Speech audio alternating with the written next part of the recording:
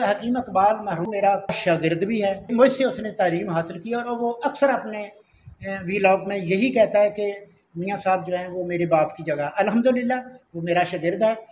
हकीम शबाज साहब के जो तशखीस है, वो मैंने आज ख़ुद अपनी आँखों से बिल्कुल हकीकत और सौ फ़ीसद पाया। ये मैं इसे तस्लीम करता हूँ। ये बलूचिस्तान से, सिंध से के पी से, कराची से जितने भी ये मरीज़ आए हैं, मैंने खुद देखा है। जो उन्होंने ऐसे हाथ सिर्फ़ दो तीन सेकंड में हाथ देख कर बताया है उन लोगों ने वही तस्लीम किया और जब मैंने भी उनकी नबत देखी तो वही चीज़ थी। मैं इनसे सौ फ़ीसद नहीं, एक सौ दस फ़ीसद मुतफिक हूँ। मैंने इनका फार्मा कोपिया वो भी देखा है और मैं नौजवान हकीमों से यही अपील करूँगा कि वो भी सीखें। मैं शबाज साहब को अपनी तो से ज़्यादा काबल पाया अच्छा पाया। अरे भाई और बहनों, अस्सलाम वालेकुम वरहमतुल्लाहि वबरकातुहू। उम्मीद है कि आप सब खैरियत से होंगे। मैं हूँ आपका मेज़बान हकीम शहबाज हुसैन नवान और आप इस वक्त देख रहे हैं Hakim Shahbaz herbal TV on YouTube.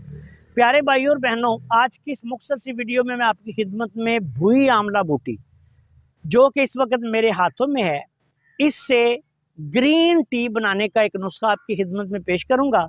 ये भूई आमला ग्रीन टी है, जो कि बेशुमार फ़वाद रखती है। बिलखसूस अमराज जिगर में, अमराज मसाना में, अमराज रहम में, कुछ छाती के मसाइल में।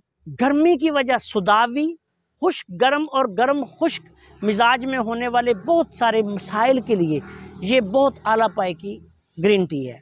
इसमें आपने सबसे पहले भुई आमला खुशक का पाउडर आपने लेना है पूरे पौधे का।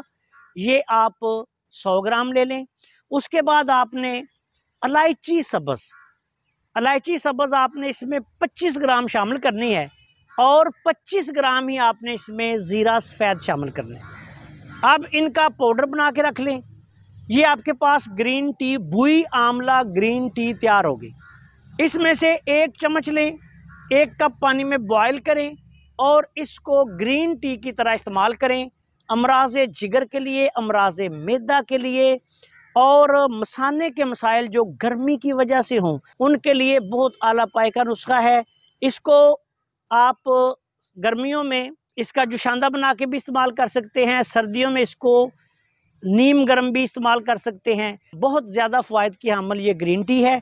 बिलखसूस जो अमराज जिगर में मुबतला मरीज़ हैं, वो इसको लाजमी इस्तेमाल करें। आपसे गुजारिश है कि अगर आपने अभी तक हमारे चैनल को सब्सक्राइब नहीं किया तो चैनल को सब्सक्राइब कर लें और हमारी इन वीडियोज़ को अपने दूसरे दोस्तों के साथ शेयर भी कर दिया करें, ताकि वो भी इनसे फ़ायदा उठाएँ। असल वरहमल वर्का